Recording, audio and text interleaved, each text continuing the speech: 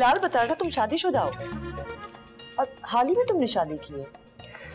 जी। क्यों? इतने छोटे से तो हो। अभी तो शादी के चक्कर में पड़ गए। अभी अभी एहसास हो रहा है कि गलती हो गई मुझसे।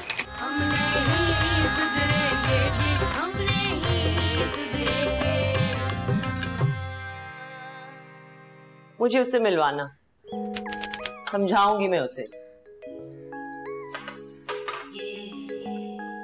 और तुम्हें भी।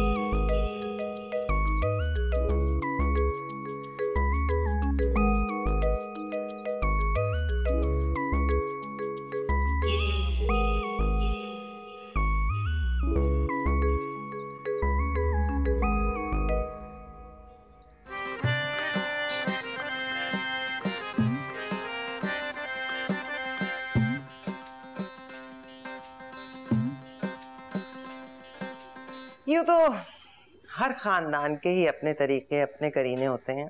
लेकिन हमारे यहाँ लड़कियों को शादी से पहले इतनी लेपापोती करने की इजाज़त नहीं होती। मैंने भी अब जाके शादी ब्याह पे हल्की सी लिपस्टिक लगानी शुरू की है, वरना पहले तो मैं ये भी नहीं करती थी। बस बहन, वक्त वक्त की बात है। हमारे यहाँ भी रिवाज नहीं कि लड़कियाँ शादी से पहले मेकअप करें। लेकिन अब क्या करें? दफ्तरों में काम करने जाना है। स्कूलों में पढ़ाना है, लोगों को मिलना मिलाना है तो फिर कोई नाक नक्शा तो ठीक करना है ना? ये तो दुरुस्त कहा आपने। लोगों ने वैसे अब लड़कियों को बहुत ही छूट दे रखी है। हमारा तो वही उसूल है भाई। देखो शेर की आँख से और खिलाओ सोने का नवाला। मेरी फरहत को तो लड़के वाले देखने आ रहे थे, मेरे हज़ार कहने पर उसने हल्की सी लिपस्टिक लगाई। वरना खुदा की कसम, मुझे तो आजकल लड़कियों के मेकअप की समझ ही नहीं आती। मेकअप करने के बाद और शक्ल होती है, उतारने के बाद और। भाई कुदरती हुसन जो है ना अल्लाह ताला की बेश बहा नेमत है। साहबजादे नज़र नहीं आ रहे आपके? आ भाई साहब ये घर में घुस के बैठने वाले मर्द तो मुझे बिल्कुल अच्छे नहीं लगे और मैंने तो एक बात नोट की है। मर्द जब तक नौकरी पर लगा रहता है ना उसका दिमाग ठिकाने पे रहता है। रिटायर होके घर बैठा नहीं और बीवी के लिए एक नई सास का जन्म हो जाता है। अल्लाह माफ़ करे हमारे यहाँ की सासें वो तो वैसे ही बहुओं का नाक का बंद किए रखती हैं और मरने के बाद उनकी औलादे नरीना सास का रूप धार लेती है। आ, तो मैं क्या कह रही थी? आप ये पूछ रहे थे कि रिजवान कब तक आएगा? हाँ वो वही मन मौजी है अपनी मर्ज़ी का मालिक। मर्ज़ी से आता है मर्ज़ी से जाता है। जरा बात करो तो आँखें दिखाने लगता है। तो मैं भी रवायती माओ की तरह ना उसके पीछे नहीं पड़ी रहती। खैर वो कह रहा था कि वो नहीं पहुँच पाएगा आप लोगों से माजरत कर लो। उसकी कोई ज़रूरी मीटिंग चल रही है तीन से चार घंटे लग जाएँगे और ज़ाहिर सी बात है अब आप लोग एक आध घंटे से ज़्यादा क्या ही इंतज़ार करेंगे। वैसे भी ये सब तो खाना पूरी ही है। जी वो शादी तो हो ही चुकी है। जी शादी कर चुकी है आपकी बेटी। अब देखे ना, मेरा बच्चा तो अभी चौबीस का भी नहीं हुआ पूरी तरह। और आपकी लड़की? आपकी लड़की यकीनन दो ढाई साल तो बड़ी होगी। खैर, मैं इसमें नहीं पड़ती कि वो कितनी बड़ी है या बहुत ज़्यादा बड़ी है। पते की बात यह है कि मियाँ बीवी में कम से कम दस बरस का और ज़्यादा से ज़्यादा बारह से पंद्रह बरस का फ़र्क ज़रूर होना चाहिए। मेरे बड़े भाई मुस्तकीम उसकी बीवी का भी ये आपकी बेटी वाला ही केस था। तो मुस्तकीम अभी पचास का भी नहीं हुआ था कि बीवी चल बसी। फिर हमने की उसकी शादी अमेरिका में कमारी लड़की से, बहुत ही अच्छी फैमिली में। बत्तीस या तैतीस बरस की होगी वो लड़की। लेकिन अगर आज आप मुस्तकीम और गजाला की तस्वीरें देखें ना तो वो बराबर की लगती है, या फिर थोड़ी बड़ी लगती होगी।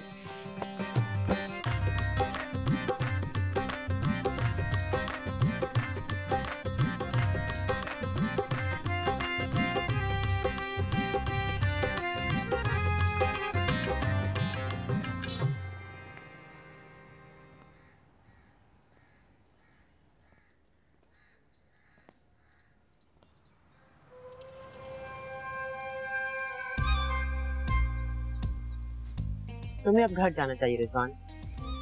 तुम्हारा इंतज़ार कर रही होगी। दिल नहीं चाह रहा। जाओ वरना मैं मारूँगी। आज तो मेरे ससुराल वालों ने भी आना था। अच्छा। नहीं चाह रहा आपके अलावा किसी मनहूस की शक्ल देखने का। और भाई मैं नहीं उनके सामने आर्टिफिशियल बन के बैठ सकता। और ना ही बिला वजह खी खी करके हंस सकता हूँ। अच्छा उसकी तस्वीर तो दिखाओ। अच्छा जी। एक सेकेंड हम्म ये ले। हम्म प्यारी है माशाल्लाह। दांत थोड़े टेढ़े हैं। आई एम सॉरी मैं दांतों के बारे में बहुत हसास हूँ।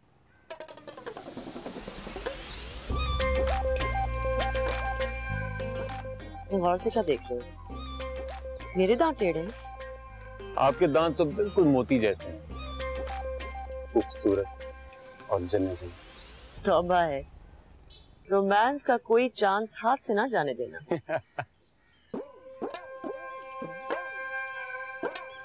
वैसे प्यारी है। आँखें बहुत प्यारी है इसकी हम्म लेकिन अब वाली बात नहीं है इसमें। इसमें मैं सोच रहा था कि अब साड़ी में कितनी ग्रेसफुल लगेंगी। कल पहने ना फिर कहीं बाहर खाना खाने जाएँगे। कितने डिमांडिंग हो तुम।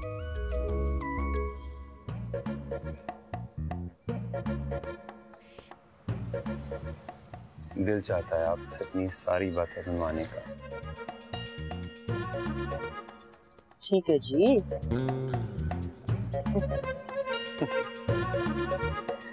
अच्छा ना मेरा दिल नहीं कर रहा अभी जाने का। थोड़ी देर और रुक जाता हूँ अभी देखें शाम भी नहीं हुई। रुक तो जाओगे लेकिन करोगे क्या? यहाँ तो बोरियत ही बोरियत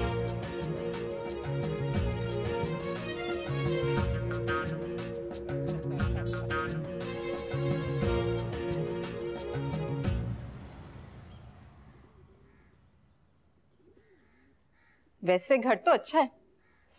बैठ भी जाओ आ जाएँगे अंदर से वो।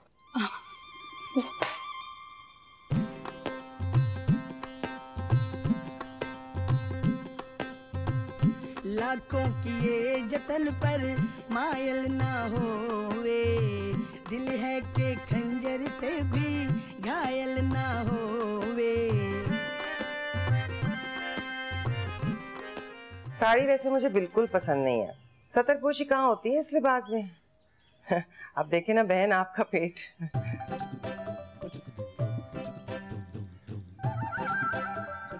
अब क्या करूँ?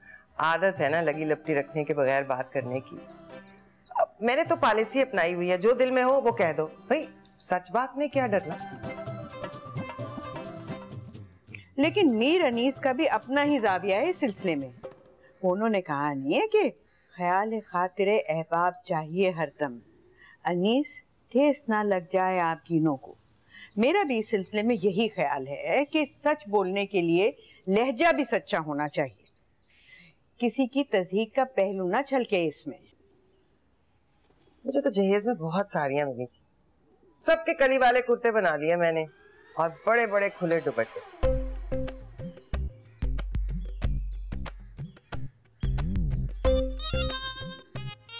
गुस्सा क्यों चढ़ता कुछ लोगों का वैसे दिमाग खराब हो जाता है वो दरअसल इन्हें साड़ियाँ बहुत पसंद है। है तो फिर यही पहन के घूमे ना।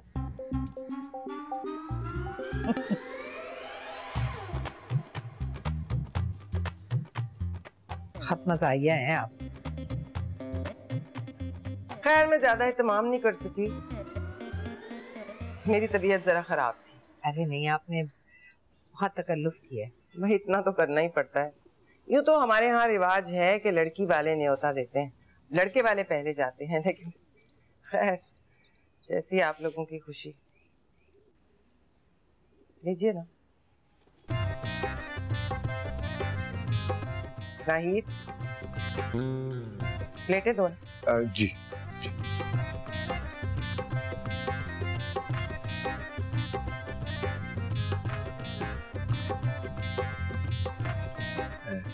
आपको दूँ? मैं कहाँ खाती हूँ ये उटपटांग चीज़ें? आप लोग लीजिए। हमने ही सुधरेंगे। हमने ही सुधरेंगे जी हमने ही सुधरेंगे। गया रिजवान? हाँ।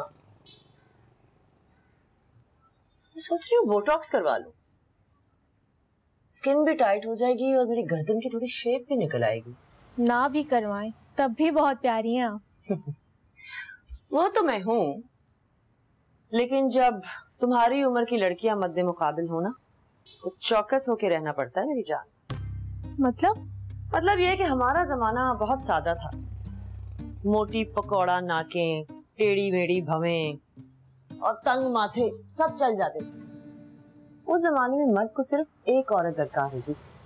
लेकिन अब तो उसको पूरा पैकेज चाहिए। और ये भी गनीमत है कि अब दुनिया की ज़्यादातर माएँ नफसियाती औलादों को ही जन्म दे रही हैं। मेरी फेसबुक प्रोफ़ाइल उठा के देख लो। ज़्यादातर तेईस से पच्चीस साल के लड़कों का जुम्मा बाज़ार लगा हुआ है यहाँ पर। वो मिलना भी चाहते हैं और भागते भागते थक जाने का भी खदशा होता है। थोड़ी देर बैठना चाहिए। साया नहीं मिलेगा। दरख्तों की शाखें नंगी हो चुकी हैं।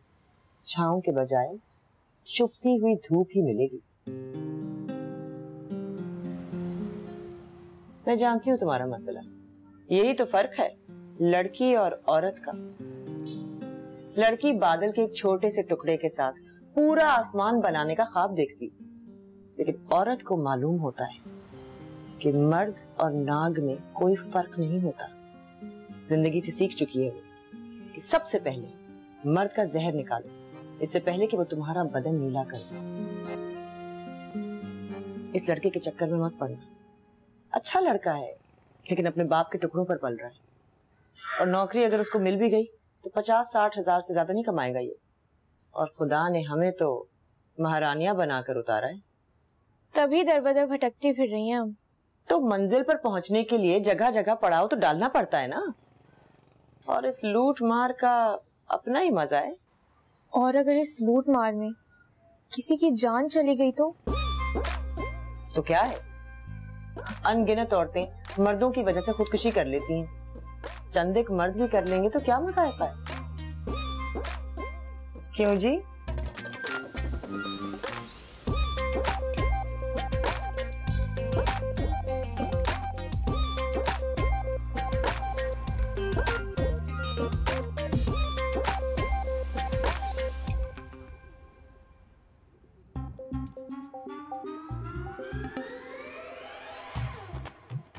ठीक है पाँच मिनट में आ रहे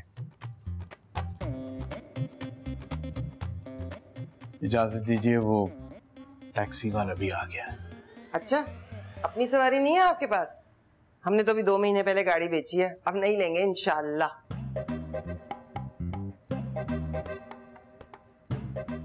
उठ जाइए आपके समधी जा रहे हैं। अस्सलाम वालेकुम। इधर से इधर से आ जाए चले ना वो निकल गए हैं। किसका मुँह देख रहे हैं आप? रिजवान भाई पता है हम आपका कब से इंतज़ार कर रहे थे? आपने तो बहुत ही इंतज़ार करवाया हमें। हाँ वो बस दो तीन ज़रूरी काम थे उसमें वक्त लग। गया सलाम वालेकुम वालेकुम अस्सलाम। कैसे हो बेटा? जी। बैठे आप लोग? सर में अजीब सा दर्द हो रहा है बहुत थका हुआ हाँ। हाँ जाओ ना अपने कमरे में जाके आराम करो कब से तो निकले हुए और बैठे क्यों ये कब से बैठे हैं? अब जाएँगे। अच्छा जी खुदा हाफिज। चले। चलो जाओ बेटा टैक्सी इंतज़ार करिए जाओ। चलो।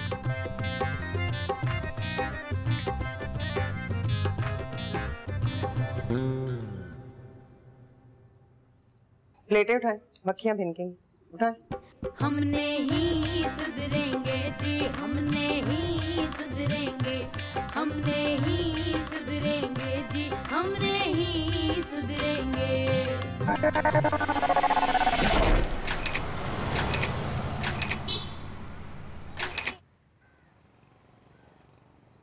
शौक पूरा हो गया दूल्हे भाई से बनने का? अम्मी लोग तो कह रहे थे बहुत अच्छी आदत के हैं। लेकिन मुझे लगा कि उनमें बहुत गरूर है अपनी खूबसूरती का। सबसे ज़्यादा खबीज तुम्हारी सास लगी है मुझे। पूरी आफत है। इतनी हकारत से बात करी थी यार। ऐसा लग रहा था तुमने उनके बेटे से ज़बरदस्ती शादी की है। भाई को देखा?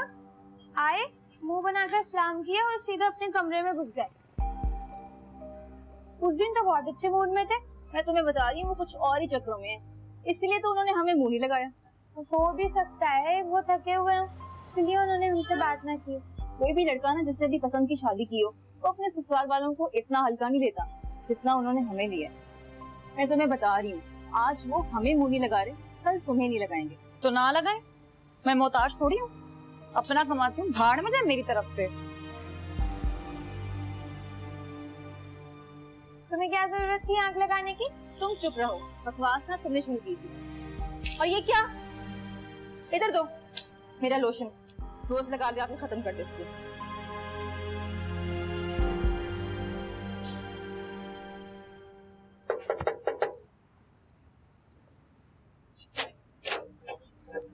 अरे कैसे हैं अजमत अंकल?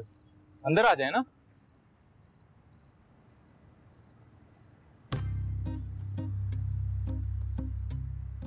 ये ऊपर कौन लोग हैं?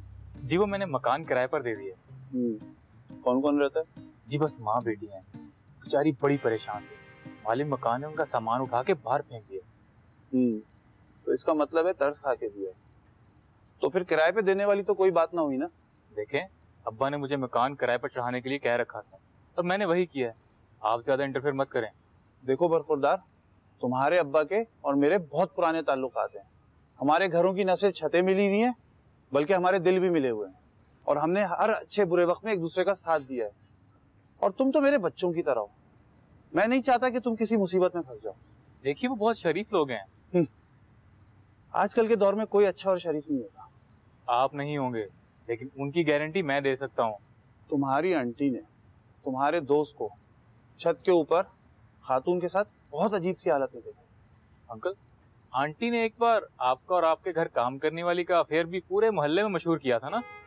सुना था रेड हैंडेड आपको उन्होंने तमीज? तमीज नहीं है तुम्हें बड़ों से बात करने की?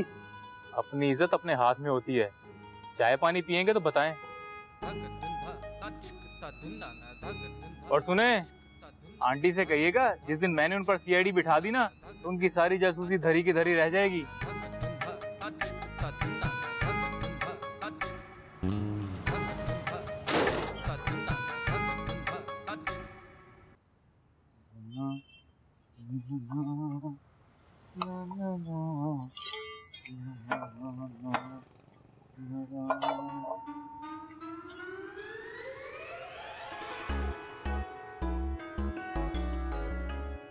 ये क्या आप ऐबी औरतों की तरह कब से मुझे टरखाए जा रहे हैं? कब से कह रही हूँ कि मुझे बात करनी है आपसे? मैं मैं मैं बस ये बर्ज खाना समेट लूँ और मैं पाँच मिनट में आता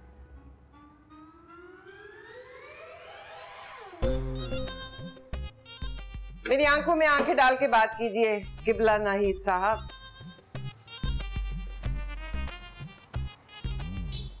मेरा दिल बैठ जाता है तुम्हारे चेहरे की सख्ती देख के। दिल उसी वक्त बैठता है जब दिल में चोर डाकू दो नंबरिए बैठे। मेरी तरफ़ देखिए। मेरी तरफ़ सिर्फ़ मेरी तरफ़। हम्म। ये क्या हरकतें कर रहे थे ब्लैक एंड व्हाइट फ़िल्मों के हीरोओं की तरह? हम्म। चोरी चोरी चुपके चुपके ताड़ रहे थे उस बेहुदा औरत को और वो भी इतना सा ब्लाउज पहनकर तुम्हें लुभा रही थी। हम्म, शर्म आनी चाहिए। शर्म से डूब मरे ऐसे लोग। उस औरत पर तो लानत है। पर आप पर तो बेशुमार लानते बताइए, कब से जानते हैं उसे? और क्या क्या गुल खिलाए हैं दोनों ने मिलकर? बताइए ना। और खबरदार जो कहा कि आप उसे नहीं जानते तो अगर ये कहो ना तो खुदा की कसम, खुदा की कसम। मैं खुशी खुशी बेवा होकर जेल चली जाऊँगी, भूल जाऊँगी कि आप मेरे शौहर। बताइए। बताइए ठीक से बताइए। बता रहा हूँ बता रहा हूँ। मेरी सिर्फ़ मंगनी हुई थी सामिया की माँ से। सखर में दो साल रही फिर टूट गई खत्म। हाँ। यानी जमाना कदीम की सेटिंग चल रही है। हम्म। दोबारा मुलाकात कब हुई? और तुम दोनों ने ये मंसूबा कब बनाया मेरे बेटे को घेरने का? बहुत अच्छी तरह से समझ गई। जो बहाने बहाने से दोस्त की ईमानदारी के लिए जाते रहे हो तो दरअसल उस औरत के साथ डेटे मार रहे थे और वो भी हिल पार्क में और चिड़ियाघर में। बोलो, झूठ कह रही हूँ क्या मैं? बताओ बताओ बताओ ना। मैं तो आगे हाथ जोड़ता हूँ मुझे माफ़ कर मैं उससे कभी नहीं मिला मैं, मैं अपनी मरूमा माँ और अपने बच्चों की कसम खाता हूँ ऐसा कुछ नहीं है मैं उससे कभी नहीं मिला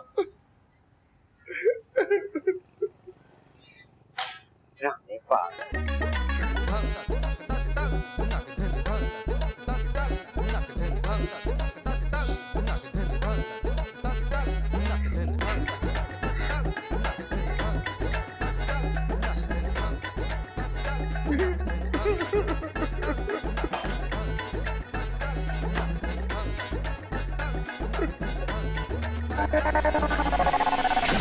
काले दुपट्टे में से चमकता हुआ चाँद उभरेगा। यही काम तो सारी ज़िंदगी किया अम्मी। इतनी सी कॉल के लिए इतनी तैयारी।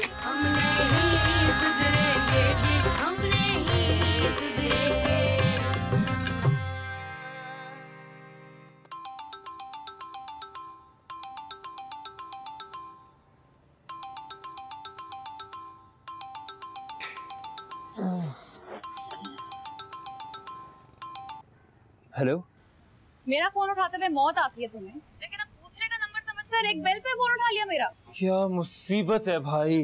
खबरदार हो तुमने मुझे भाई का रिजवान। और आज क्या हरकत की है मेरी फैमिली के साथ तुमने हाँ? नहीं हम कौन है? हम भिखारी हैं फुटपाती है कौन है हम? मुझे एक साफ़ साफ़ बात बता दो रिजवान। कौन पीछे पड़ा था शादी के लिए। तुम या मैं जवाब दो। ऐसे गूँगे की तरह खामोश मत रहो रिजवान। रिजवान रिजवान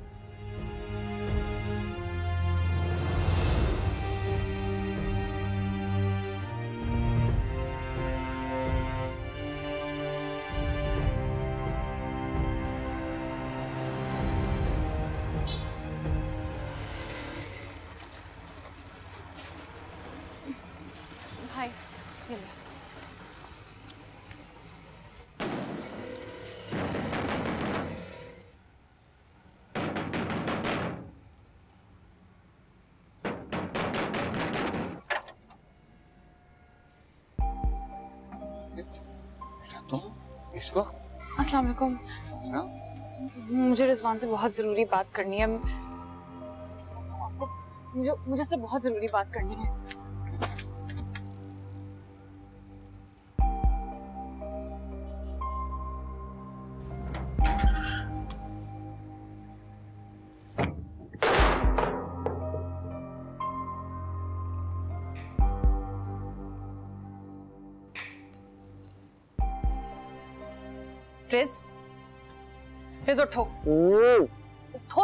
दफ़ा हो जाओ यहाँ से भाई क्या गंदी आदत है तुम्हारी चिपकने की चिपकू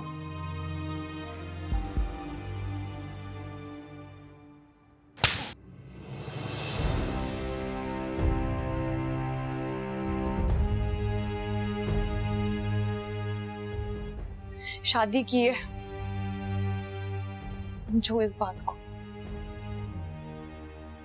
पीछे तो तुम पड़े थे ना रिस क्यों कर रही हो ये सब कुछ? किसी फालतू चीज़ की तरह मुझे कहीं पर ढककर तुम चैन से सो रहे थे यहाँ पर मैं मैं कब से जाग रही हूँ? नहीं कब से। ये क्या नौटंकी लगा रखी है हुँ? शरीफ लड़कियाँ आधी रात को यूँ दंदनाती हुई नहीं आ जाती।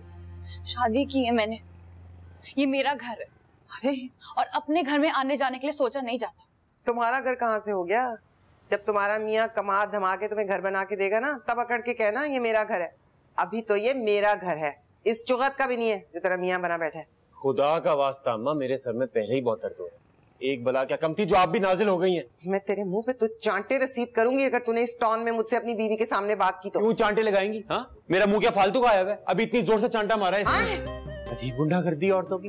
कम से कम इस घर में तो औरतें मर्दों पे चढ़ के अपनी बर्तरी का झंडा लहरा रही हैं। तुझे शर्म ना आई? मेरे मासूम बच्चे के फूल जैसे गालों पर चांटे रसीद करते हुए। और ऊपर से इतने अजीब जाहिल मर्दों वाले सख्त हाथ हैं इसके। ज़िंदगी में आज तक आपके अलावा मुझे किसी ने हाथ नहीं लगा। और टीचर्स भी मुझे नहीं मारती थी। कहती थी इतना प्यारा बच्चा मारने का दिल ही नहीं करता। तुम तो ब्यूटी क्वीन हो ना? बस उठते बैठते अपनी खूबसूरती की पब्लिसिटी करते रहते हो। मेरे बेटे को ब्यूटी क्वीन मत कहना। माशाल्लाह से पूरा मर्द है। खबरदार किसी औरत से तशबीह देने की कोई ज़रूरत नहीं है। आप जैसी माए जब औरत होने को गाली समझेंगी ना तो आपकी आल औलाद तो समझेगी उन्हें पैर की जूती। असल तरबियत माँ की होती है। ए जबान संभाल के मेरी तरबियत पर बिल्कुल बात मत करना वरना मैं तुम्हारी माँ की बदमाशियों और आवारगियों की पोटली खोलकर बैठ जाऊँगी। मुँह ना खुलवाओ मेरा। आ, मुझे लगता है उफ, मुझे लगता है मेरा बीपी बहुत हाई हो गया है। इसी वजह से पता नहीं क्या कुछ बोल गई हूँ मैं। ऊपर से तुमने आके मुझे कच्ची नींद से भी उठा दिया। अब, अब, अब कोई बात नहीं हो जाता है ऐसे। जहाँ दो बर्तन हो वो आपस में खड़कते ही हैं। और सास बहू का झगड़ा तो बिल्कुल नॉर्मल बात है है ना? इ, इस बात को संजीदा मत लेना। और सही कह रही हो तुम ये ये तुम्हारा घर है। तो तुम्हारी मर्ज़ी है जब चाहो आओ जब चाहो जाओ है ना? चला आ मेरे गले लग जा। खुदा की कसम अम्मा, आपका और मुल्क के हालात का कोई एतबार नहीं आना मेरी बच्ची।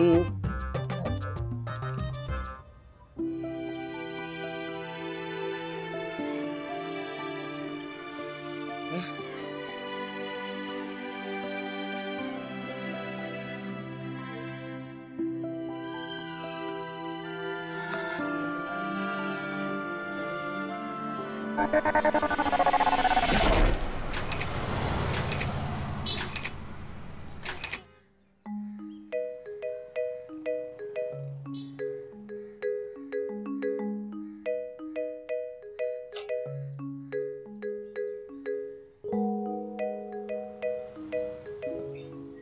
परेशान मत होना, बिलाल। चले जाएँगे हम यहाँ से। क्यों चले जाएँगे? खाम खा चले जाएँगे। सजमत की तो जाने इस मोहल्ले के लोगों को दूसरों की ज़िंदगी में घुसने का इतना शौक क्यों है? हर वक्त यहाँ की औरतें खिड़कियों और दरवाजों में से झांकती रहती हैं। और जो मर्द हैं वो उनसे भी दो हाथ आगे हैं। अम्मी हम कहाँ जाएँगे अब? देखो किस्मत कहाँ ले जाती है? एक साल तक तो आप लोग आराम से यहाँ रह सकते हैं। मैं जानता हूँ ना अब्बा की जॉब का। वो एक साल से पहले तो आ ही नहीं सकते। लेकिन बिलाल ये तो बहुत रिस्की है। कभी भी आ सकते हैं वो। तुम्हें पता है मैं इतने सुकून में थी कि एक महफूज ठिकाना मिल गया लेकिन लगता है, औरत की ज़िंदगी में खाना बदोशों की तरह भटकना ही लिखा अरे, मेरी तो खैर थी। लेकिन जवान लड़की का साथ एक सूरत हो सकती है आपके यहाँ रहने की। मैं समन से निकाह कर लेता हूँ। फिर मोहल्ले वालों को भी कोई एतराज़ नहीं होगा। और मैं अब्बा को अच्छे तरीके से जानता हूँ वो मुझसे बहुत प्यार करते हैं। मेरे अलावा बाकी तीनों बहनें हैं तो मैं आराम से उनको इमोशनल ब्लैकमेल कर सकता हूँ। और और मुझे मालूम है कोई बड़ी टेंशन क्रिएट नहीं होगी। हाँ हमारे माशरे में तो एक लौता बेटा बड़ी ऊँची शय होता है। देखिए मेरी वैसे भी स्टडीज़ कंप्लीट होने वाली हैं। और कुछ ही महीनों के बाद मेरी प्रैक्टिकल लाइफ शुरू हो जाएगी। और वैसे भी जो कुछ अब्बा का है वो मेरा ही तो होना है। अच्छी खासी सेविंग्स हैं। और दुकानें हैं जिनका किराया भी आता है। भाई, मैं तो कभी इन चीज़ों के पीछे नहीं भागी। हाँ जवानी में बड़े बड़े जागीरदार, सियासतदान, अपनी कोठियाँ, जायदादें, मेरे नाम लिखवाने के लिए भिकारियों की तरह खड़े रहते थे। लेकिन मैंने शादी किससे की? समन के बाप से। जो एक मामूली सरकारी मुलाजिम था। मैंने उसका दिल देखा। जेब नहीं। मोहब्बत कोई चूहे बिल्ली का खेल थोड़ी है? दौड़ना ही तो नहीं है। साथ साथ चलना है। और साथ चलने के लिए आदमी जितना हल्का फुल्का हो उतना ही उसके लिए अच्छा होता है। ये तुम क्या उल्लू की तरह के फाड़ फाड़ के अम्मी को देख रहे हो? समझने की कोशिश कर रहा हूँ इनकी बातें। देखो कोई जल्दबाजी नहीं करनी। अब सारे मामले को मैं ही देखूँगा। तुम्हारे अब्बा को हमारे यहाँ रहने की इतला तो मिल ही चुकी। तुम ऐसा करो, मेरी बात करवाओ उनसे। लेकिन ऑडियो नहीं वीडियो तो भाई वीडियो कॉल हाँ स्काइप पर हो सकती है।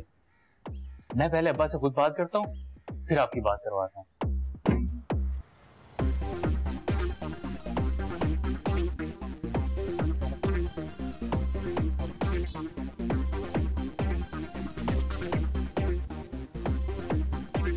हज़ार मर्तबा कहा है तेरे बाप से। मेरे लिए पापे जरा सिके सिके से लाया करे। ब्राउन ब्राउन वो मज़ा देते हैं पर नहीं मैं तो हर काम में अबदारियाँ करनी है ना। फिर उठा ला सफ़ेद वाले जहर लगते हैं मुझे। अम्मी अब तो मेरी शादी की तारीख भी पकी हो गई है। शॉपिंग शुरू कर दे ना। मेरे को पैसे तो हाथ में आए फिर कर लेंगे शॉपिंग भी। जेवर तो मैं उसी चलाको मासी का चढ़ाऊं ये उन लड़कियों में से नहीं है? जो दूसरों के लिए कुर्बानी देने का जज्बा रखती हो। ये तो तमाशा खड़ा कर देगी। खड़ा करके तो दिखाए तमाशा। सीधे सीधे घर भिजवाऊँगी। तलाक का पर्चा हाथ में थमा के। किधर था? रहने देना। ये मेरे लिए है। तेरे अब्बा से मेरी बातचीत बंद है। इसलिए मैंने पराठा नहीं बनवाया अपने लिए। सुना है तेरे अब्बा की और तेरी सास की बड़ी पुरानी लव स्टोरी चल रही है सखर के जमाने की? एक्शन नहीं देखे थे इसकी सास के? अरे साड़ी पहन के तो ऐसे एक्शन मार रही थी जैसे बॉलीवुड की हीरोइन हो। हाँ भाई बड़ी ऊँची शह है। मियाँ को चपरासी बनाया हुआ है और खुद बेगम साहबा बनी फिर रही ओ ये किधर है? है कि गई? छोड़ के आया हूँ। भाई पता नहीं कौन से तंदूर दहक रहे हैं जो ठंडे होने का नाम ही नहीं लेते। हमारी ज़रूरत नहीं थी। हम अपनी सास नंदों के सामने मियाँ को भाई जानों वाली इज़्ज़त देते थे। और ये अचानक से नाजिल हुई मियाँ को चांटे मारे थक्के दिए और गालियाँ। ओहो अम्मा मज़ाक कर रहा था। चांटे तो नहीं मारे उसने खैर। तेरी तो शुरू से आदत है बात करके मुकर जाने की। बड़ा ही झूठा और एक नंबर का दोगला है तू। और सुन तेरी बहन की शादी सर पे खड़ी है। भाई है तेरा भी कोई फ़र्ज़ है रिजवान। तो मैं तो भी छोटा हूँ ना। ये सब तो आपका काम है। तोता चशन से क्या उम्मीदें लगा कर बैठ रही हैं आप अब मेरी बात सुन। तेरे जहेज का जेवर और फर्नीचर फ़र्क को जाएगा। मुतवसत घरानों में ऐसे ही होता है। हाँ तो मुझे कौन सा उनके घर का गवार सामान रखना है? चीखे चिल्लाएगी तो अम्मा मुझे लड़कियों की साइकी पे अबूर हासिल है। उनसे बात कब और कैसे मनवानी है या मुझ पे छोड़ दे? अब तो बदमाश है तू। चल।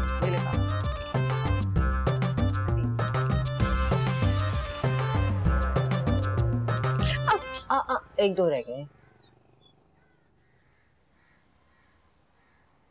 ये। देखो। हम्म। गौर से क्या देख रही हो? कितनी खूबसूरत आँखें आपकी।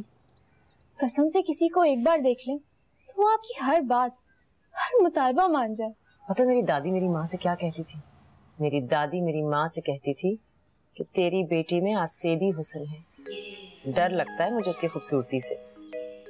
अब ये बात, अगर एक औरत के दिमाग में बिठा दी जाए कि वो अपनी खूबसूरती से पूरी दुनिया हिला सकती है तो ज़ाहिर बात है, वो इस बात को आजमाने के लिए नए नए तरीके ढूंढेगी।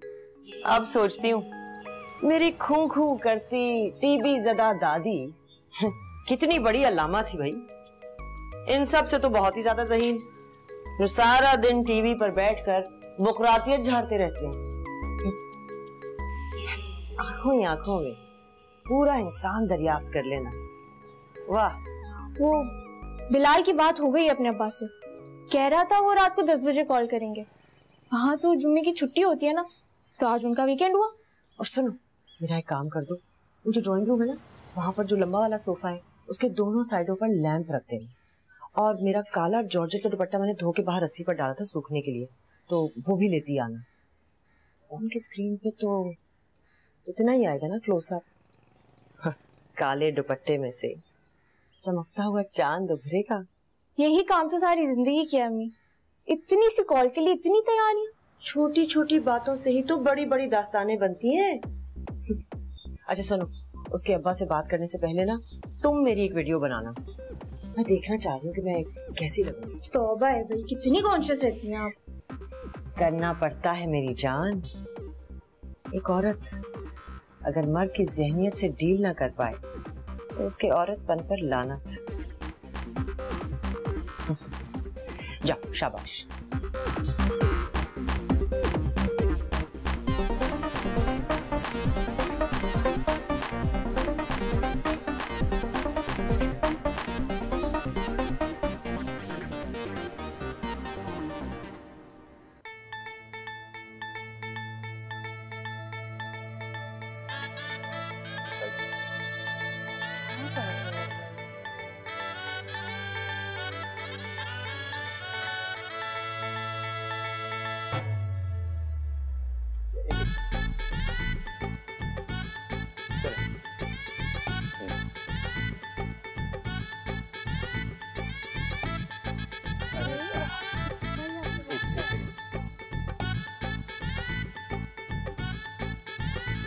सुनो इधर खातन की तरफ़ सब ठीक है ना? चलो मैं फिर उधर मर्दों की तरफ़ से इंतज़ाम आते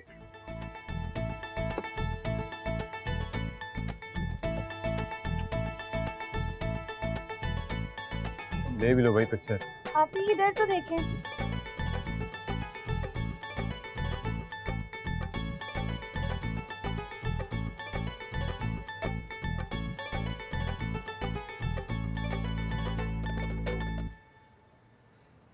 रिज तुम्हारे एक्शंस तो खत्म होने का नाम ही नहीं ले रहे। तो तुम्हारे खानदान की जो बदशक्ल और गवार औरतें हैं उनसे पूछो कि तुम्हारे खानदान की पूरी हिस्ट्री में कभी किसी का इतना गुड लुकिंग दूल्हा था? जी था। मेरे अब्बू ना अपनी जवानी में बहुत हैंडसम थे। मैं तुम्हें किसी दिन दिखाऊँगी अम्मी और अबू की शादी की तस्वीरें। इतनी कॉमेडी मत करो। तुम्हारे अब्बू और हैंडसम हाँ वैसे तुम्हारी अम्मी बहुत प्यारी है। तभी तो हमारे अब्बा और तुम्हारी अम्मी की ठीक ठाक सेटिंग थी। सेटिंग नहीं थी मंगनी हुई थी जो तुम्हारे अब्बू ने तोड़ी थी। हाँ।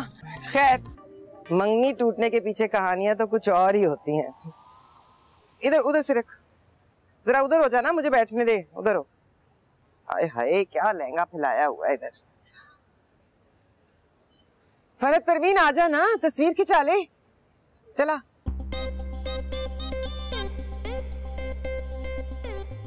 ठहर जा। आ जा बैठ। और बुला ले कितनी बार आपसे घर सबके सामने इस नाम से मत बुलाया करें मुझे। क्यों बोलो?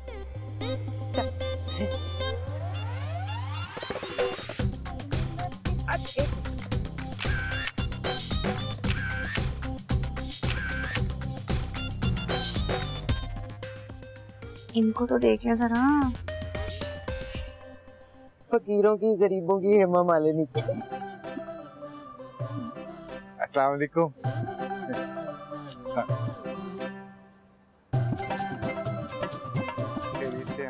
अम्मी ये अब्बू का क्या मसला है? हज़रत इसकी मौत के आगे पीछे क्यों मंडलाते रहते हैं? इधर आए। आ, मैं भी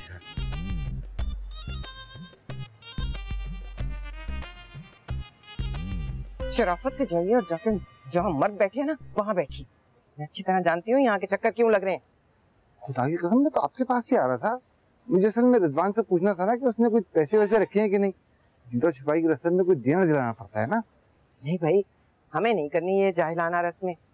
मना कर दिया था मैंने आपकी साहब का गर्लफ्रेंड को। किसी बातें कर रही हो? साहब का गर्लफ्रेंड? हाँ हाँ। अंग्रेज़ी में साहब का मंगेतर को साहब का गर्लफ्रेंड ही कहते हैं। अब जाइए। चौके मर्दों में बैठिए। अच्छा हाँ जा रहा हूँ। अरे भाई यहाँ कोई पानी वानी कोल्ड ड्रिंक कोई पिलाएगा कि नहीं?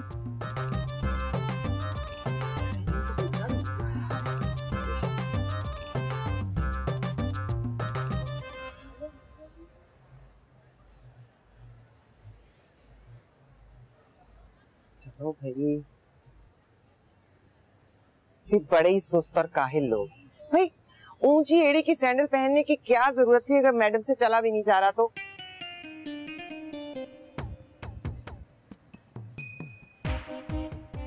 आप ना अपनी साहब का मंगेतर को देखते हैं ना तो आप से बाहर हो जाते हैं वैसे। मैम मैं तो बस क्या? क्या मैं तो? मैं कामिल लोगों साथ चला जाता हूँ आप इनके साथ आराम से गाड़ी में हम्म ये बेहतर रहेगा। ठीक खुदा जाइए।